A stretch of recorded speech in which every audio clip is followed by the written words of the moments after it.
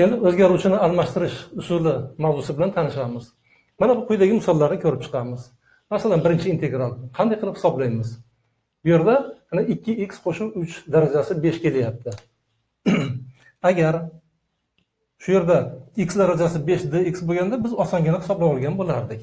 Buni x darajasi olti taqsim olti qo'shuv s mana bunday qilib osongina hisoblagan bo'lardik.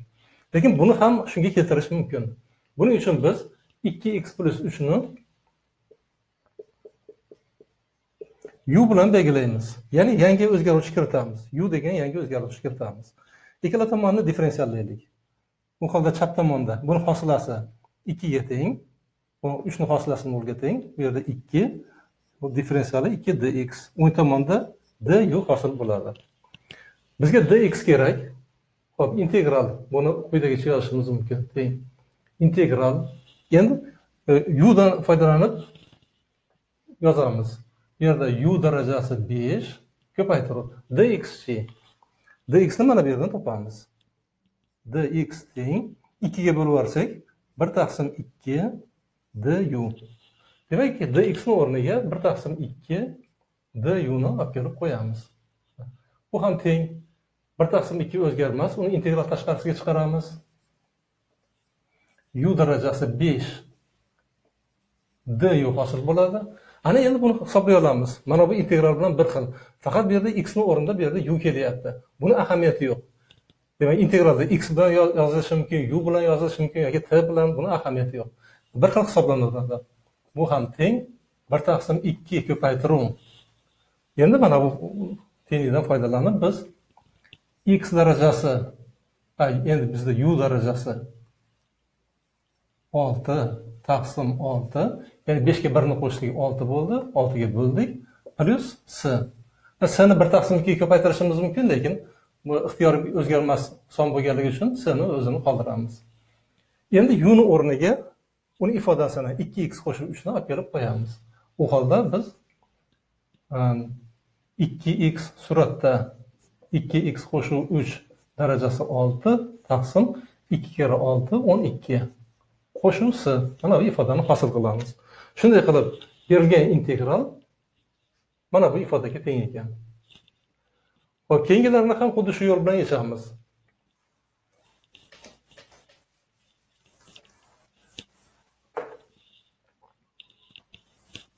Mana ikkinchi misol.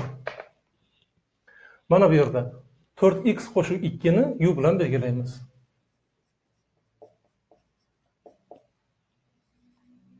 Differensiyallasak to'rt dx teng du mana bu tenglikni hosil qilamiz. Bundan dxni topamiz. Bir taqsim to'rt du hosil bo'ladi. U holda bu integral teng bo'ladi. Integral sinus. Mana bu ifodani o'rniga men u yozaman. Ko'paytiruv dxni o'rniga mana bu bir taqsim to'rt u yozamiz. Teng. Bir taqsim to'rtni integraldan tashqariga chiqaramiz. Chunki o'zgarmas ko'paytuvchi natijada biz sinus u taqsim ko'paytiruv duni hosil qilamiz. A sinusni integralini biz bilamiz. Bir taqsim to'rt. Sinusni integrali minus kosinus u plyus s. Endi uni o'rniga biz uni ifodasini olib kelib qo'yamiz. To'rt x qo'shib ikkini olib kelib qo'yamiz. Bu holda teng bo'ladi.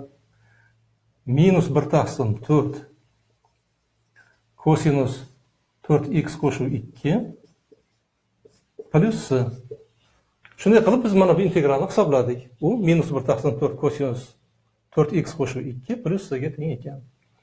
Uchinchi misolga o'tamiz.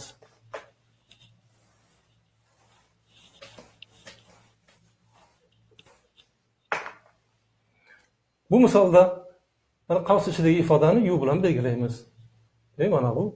Buni u bilan belgilaymiz u holda d uni topamiz tenglikni differensiyallasak va yozaylik x taqsim to'rt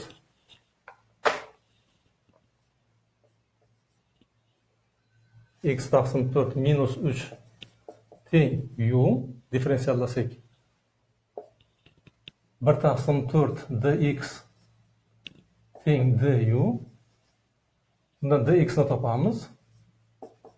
To'rt du ana endi biz integralni quyidagicha yozamiz. Teng integral kosinus u ko'paytiruv dx ni o'rniga to'rt du ni yozaman.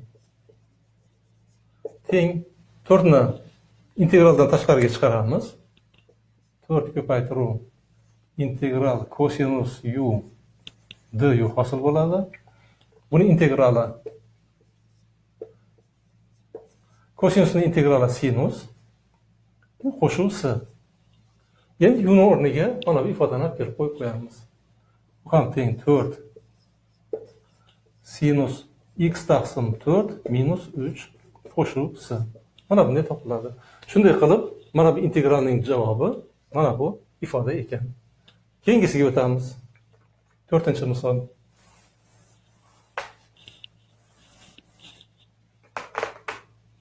bunda y darajasi mana bu ifodani u bilan belgilaymiz ya'ni minus x qo'shuv uchni u bilan belgilaymiz ikkala tomonni differensiallasak minus dx teng du hosil bo'ladi bundan dx teng minus du ekani kelib chiqadi u holda mana bu integral teng bo'ladi integral y darajasi u ko'paytiruv dx ni o'rniga minus d deb yozamiz. Minus du minus birni integraldan tashqariga chiqaramiz.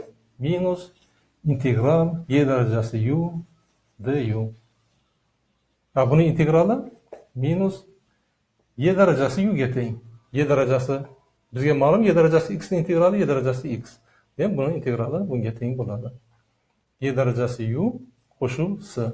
Ya'ni u ni o'rniga mana bu ifodani uni ifodasini olib kelib yozamiz. Minus y darajasi. Minus x qo'shuv uch plyus s. Shunday qilib mana bu integralning javobi mana bu ifoda ekan.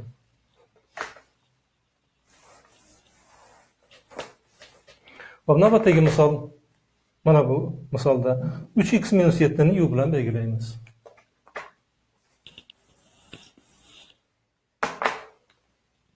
Uch x minus yetti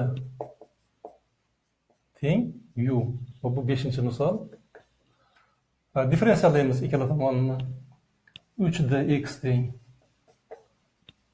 du dx teng bir taqsim uch du o'rniga olib kelib qo'yamiz bu yerga olib kelib qo'yamiz bu holda teng bo'ladi teng integral. Dx ning o'rniga 1 taqsim 3 du ni yozamiz.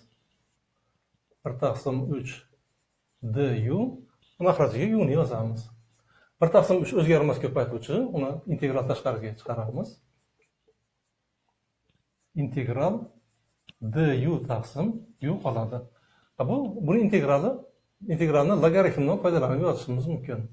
1 taqsim 3 logarifm modul u. Qo'shuv s. endi uni o'rniga uni ifodasi uch x minus yettini olib kelib yozamiz. Bir taqsim uch logaritm uch x minus yetti plyus s. Shunday qilib mana bu integralning javobi quyidagicha quyidagicha ekan. Va nihoyat oltinchi misolga o'tamiz.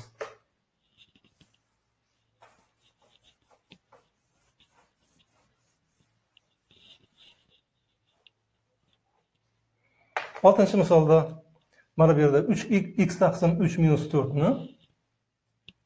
Oltinchi misol. Minus to'rtni u bilan belgilaymiz. U holda differensiallasak ikkala tomonini. Dx taqsim uch teng du tenglikni hosil qilamiz. Bundan dx teng uch du ekani kelib chiqadi.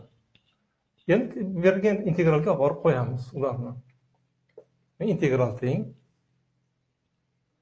Integral dx ni o'rniga uch d ni yozamiz. Mahrajda kosinus kvadrat u mana buni u bilan belgilaganmiz. Teng. O'zgarmas ko'paytiruvchi uchni integraldan tashqariga chiqaramiz. Integral du taqsim kosinus kvadrat u buni integralini biz э, hisoblashni bilamiz. Uch tangens uga teng. Plyus s va nihoyat uni o'rniga uni ifodasini olib kelib qo'yamiz. Tangens x taqsim uch minus to'rt. Qo'shuv s va shunday qilib biz mana bu integralni topdik u quyidagicha ekan. Yangi o'rganayotgan Э, yangi boshlagan matematikani yangi boshlagan integrallar mavzusini yangi boshlagan o'quvchilarga biz mana shu yo'lni tavsiya qilamiz. Lekin ma'lum bir vaqtdan keyin tajriba hosil bo'lgandan keyin birdaniga quyidagicha yechimni yozishingiz mumkin. Mana masalan mana bu integralni. Teng. Mana bu yerda go'yoki x darajasi besh. Mana bu integralga keltirilyapti. Buni integralni qanday qilib topardik? Darajasiga birni qo'shamiz. Olti. Va shu oltiga bo'lardik. Bu yerda xni o'rnida ikki x minus plyus uch kelyapti. Demak ikki x plyus uchni yozamiz. Oltinchi darajasi bo'luv olti va x oldidagi songa xni koeffitsiyentiga bo'lib qo'yamiz. Mahrajga bo'lib qo'yamiz degani bu mahrajga ko'paytiramiz degani. Plyus natijada biz berilgan funksiyaning boshlang'ich funksiyasini hosil qilamiz. Ya'ni ikki x qo'shuv uch darajasi olti taqsim o'n ikki qo'shuv s mana shu yo'l bilan biz e, tez hisoblashimiz mumkin. Mana masalan ikkinchi misolda. Teng. Sinusning integrali. Minus kosinus. Demak minus kosinusni yozaman. Mana bu ifodani o'zini yozaman. To'rt x qo'shuv ikki. Endi x oldidagi son to'rtga bo'lamiz bo'luv to'rt.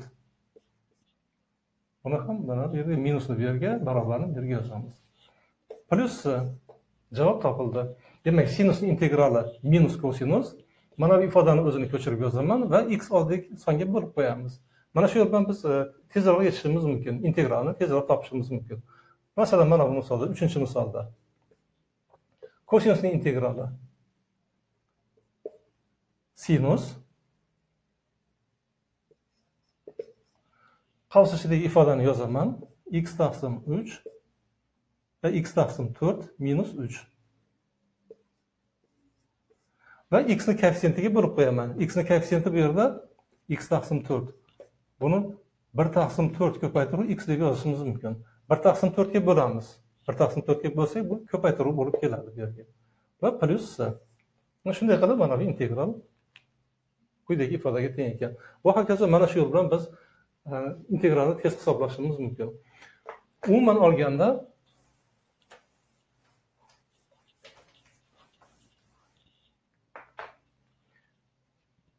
agar integral fx dx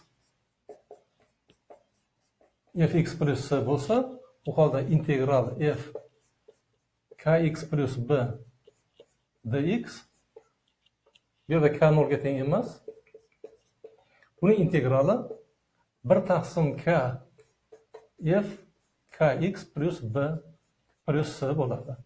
Demak mana bu x oldidagi songa bo'lib qo'yamiz. Bu umumiy formula.